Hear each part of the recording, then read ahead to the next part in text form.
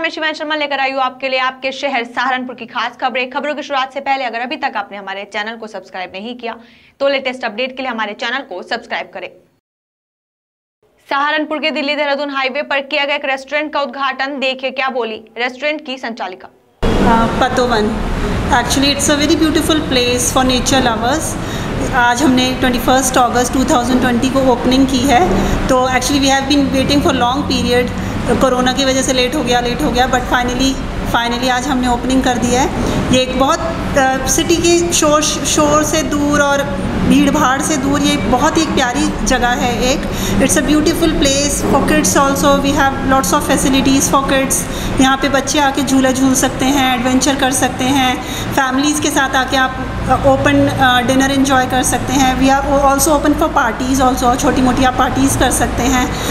हाँ, अब कोरोना के टाइम पे किसी को भी बाहर जाने के लिए डर लग रहा है बट हमने सब चीज़ें ध्यान में रखते हुए we are using proper sanitization we are using all government protocols जो भी गवर्नमेंट प्रोटोकॉल्स हैं sanitizations thermal screening and sanitization of table and chair we are only using crockeries disposable crockeries we are not using any crockeries we are only using the biodegradable crockeries during this period so it's very safe. You can come here enjoy with your family and your friends and you can without any without any risk. So please come and enjoy smart city Saharanpur में सफ़ाई के हालात सुधरे पाया उनचासवा स्थान स्वच्छ। सर्वेक्षण 2020 में नगर निगम द्वारा की गई दिन रात की मेहनत से सहारनपुर की रैंक में बड़ा सुधार आया है। पिछले वर्ष बानवे स्थान पर रहे सहारनपुर नगर निगम को इस बार देश भर में उनचासवा स्थान मिला है। टॉप फिफ्टी शहरों में आने के साथ ही उत्तर प्रदेश के शहरों में भी सहारनपुर पांचवे पायदान पर है। भाकियों ने थाने में किया धरना प्रदर्शन, करना भुगतान की उठाई मांग। ननोता में गन्ना भुगतान को लेकर भारतीय किसान यूनियन ने थाने में प्रदर्शन किया और मिल प्रबंधकों से शीघ्र भुगतान की मांग करते हुए जिलाधिकारी के नाम एक ज्ञापन भी सौंपा, जिस पर मिल प्रबंधक डॉक्टर प्रशांत कुमार ने शीघ्र भुगतान किए जाने का आश्वासन भी दिया। आपको बता दें, ननोता चीनी मिल पर किसानों का एक सौ चौदह करोड़ ब्याज बकाया है, जो की भुगतान का पैंतालीस प्रतिशत है। एसआईसी ने किया जिला अस्पताल का निरीक्षण जाना मरीजों का हाल। प्रमुख अधीक्षक डॉक्टर एस एस लाल ने बीते दिन जिला अस्पताल में इमरजेंसी सर्जिकल हड्डी बर्न वार्ड का निरीक्षण किया था, था प्रमुख अधीक्षक ने इमरजेंसी वार्ड में मरीजों से उनका हालचाल भी जाना। साथ ही वार्ड में ड्यूटी पर तैनात स्टाफ को आवश्यक दिशा निर्देश भी दिए। सांसद हाजी फजल रहमान ने किया ओरियन पैथोलॉजी लैब का उद्घाटन। बसपा सांसद हाजी फजल रहमान ने खाता खेड़ी में डॉक्टर सरफराज सामानी द्वारा संचालित ओरियन पैथोलॉजी लैब का उद्घाटन करते हुए कहा कि इससे क्षेत्र के सभी गरीब को स्वास्थ्य संबंधी लाभ व सुविधा मिलेगी। शिगोगा महाड़ी सुधार सभा के अध्यक्ष ने एक बार फिर प्रशासन से गुगाल मेला भरने की की अपील। देखे क्या बोले। प्रेस वार्ता हमारी जो बुधवार को जो हमारे चौधरी साहब के यहाँ मीटिंग हुई थी उसमें काफ़ी पुरानी पंद्रह साल से चुनाव न होने की वजह से हमारे यहाँ गुगा माड़ी सुधार सभा में काफ़ी रोष उत्पन्न था। मीटिंग में, लगभग सभी भक्तों की मीटिंग में हमने ये यह निर्णय लिया कि ये पुरानी कमेटी को भंग करके, नई कमेटी के गठन तक चौधरी ताराचंद जी को अपने पूरा, पूरे अधिकार समाहित किए जाते हैं।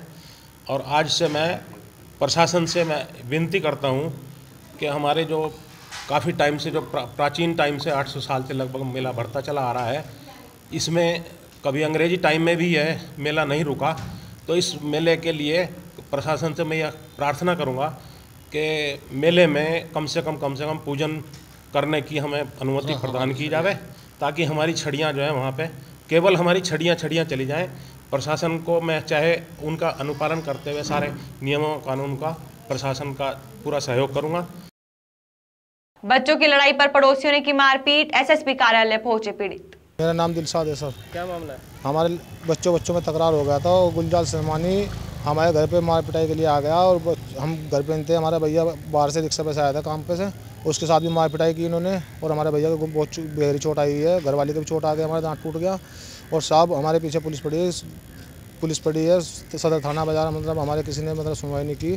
चौकी थी चौकी इंचार्ज है जो वो हमारे पीछे पड़ा पुलिस मतलब हमारे पीछे पड़े। हमने फिर कप्तान साहब के यहाँ गुहार लगाई तो कप्तान साहब ने हमारी सुनी। चार दिन के बाद हमारी रिपोर्ट दर्ज हुई साहब और हमारे पीछे पुलिस पड़ी। उसके पीछे उसके ऊपर कोई कभी कार्रवाई नहीं करती। वो नेता नेता टाइप का आदमी है वो हमारा धमकी देता है। और साहब वो क्या नाम ले रहे गुंडा टाइप का आदमी है। हमारे हम वो सत्ताईस महीने जेल में रह चुका अपहरण के केस में। और हमारे ये? सदर थाने का मामला है सर। सदर थाने का मामला है चौकी लगती है मतलब पेपर मिल पे साहब।